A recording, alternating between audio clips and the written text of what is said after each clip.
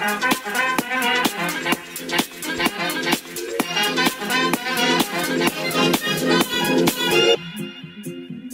what new horizons can we look now? Where are tomorrow's opportunities? The